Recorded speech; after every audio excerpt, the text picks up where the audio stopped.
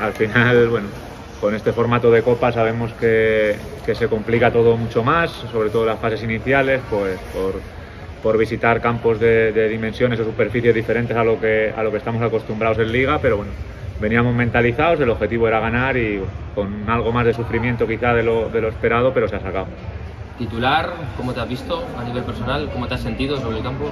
Bien, me he encontrado bien físicamente, es verdad que luego la prórroga pues ya me costaba un poquito más, son muchos meses sin, sin sumar tantos minutos que, que, cuesta, también el cambio de superficie pues, pues las piernas lo notan, pero bueno, me he visto, me he visto bien, me voy contento con el, con el partido realizado y a seguir, a seguir sumando minutos cuando el míster lo considere. Tres categorías de diferencia entre vosotros y el Cueto Ortájar y, y prácticamente, sobre todo en la primera parte, ni se ha notado.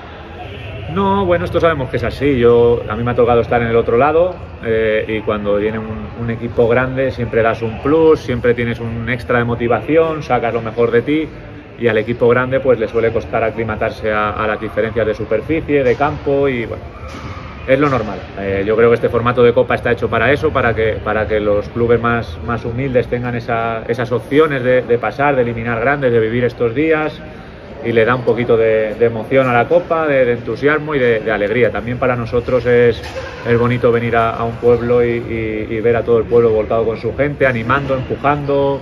Al final del partido, pues los saludo con, los rivales y el agradecimiento por el partido, por el juego limpio que ha habido. La verdad que creo que es bonito para los dos lados, se sufre, pero al final, final feliz. En definitiva es una fiesta del fútbol que al final solo puede tener un vencedor y que en este caso habéis sido vosotros, aunque ellos también han tenido sus oportunidades.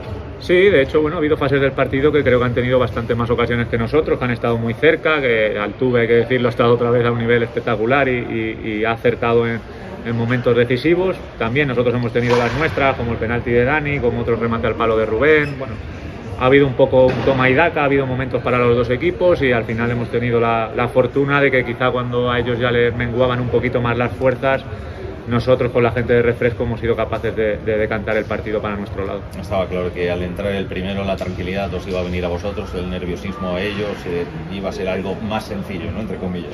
Sí, dentro de la dificultad que hay, al final es una, una premisa que, que, siempre se sale con ella en estos partidos, que si, si consigues, cuando eres, bueno, teóricamente eres algo superior al rival, que cuando consigues abrir la lata, luego van a entrar los demás, por eso, por esa desesperación o esas ganas de ir hacia arriba de ellos y un poco el desorden pero nos ha costado abrirla. Es verdad que cuando, cuando lo hemos logrado pues han entrado más y el equipo ya ha estado más cómodo, pero bueno, lógico en, esto, en estos partidos, en estos ambientes y bueno, pues como he dicho, contentos por, por, el objetivo que era pasar de ronda. Se lo decía Sergi, te quería preguntar eh, como, a tu compañero, no sé si en algún momento, eh, nivel deportivo seguramente no, pero a nivel anímico, habéis visto eh, superados, es decir, que, que, no conseguíais eh, ofrecer ese juego eh, combinativo, ¿no? esa, esa continuidad ¿no? de, la que, de la que habla Rubén, por eso habéis dicho, madre mía, eh, en algún momento va a llegar el gol y de esta no, no nos salvamos. No, no, no verlo así como, como comentas tú, de madre mía o, o cómo están viniendo, pero hay que reconocer que este campo a nosotros nos ponía dificultades a la hora de, realizar el juego combinativo que, queremos hacer o que venimos acostumbrados a hacer.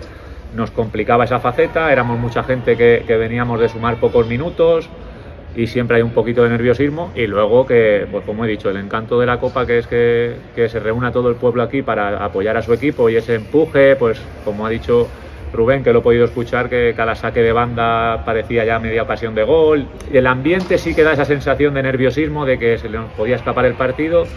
Nosotros dentro estábamos medio tranquilos en cuanto a, a confiar en nosotros y en que lo podíamos sacar, pero sí que ha habido momentos de, de sufrir y de que nos han apretado muy bien. No podemos pedir rival, pero vamos a pedir que no sea muy lejos, ¿no?